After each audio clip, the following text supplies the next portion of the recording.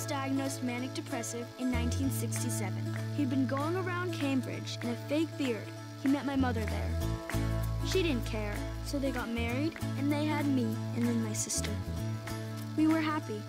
I know there's more to it than that. There always is. Why can't Daddy live here with us? He's a way better cook than you.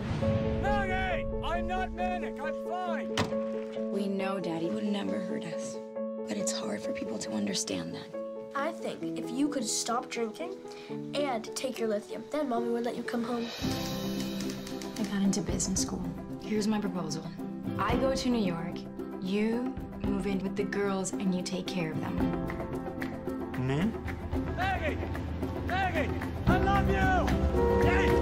I'll kill you! That was so embarrassing! You want me to pick you up after school? No!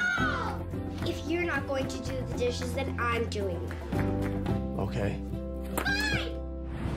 I'm depressed. Of course you are. Your dog ran away, your family gives you just barely enough money to live off, and you annoy people. Name one father who's up right now sewing a flamenco skirt for the daughter. Are you taking your lithium? You have to take responsibility for your condition. We don't want people to see how we live. Big deal how you live. It's not your fault.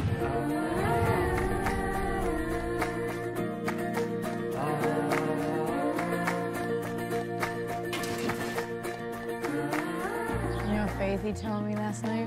The thing about Daddy is that he's always there.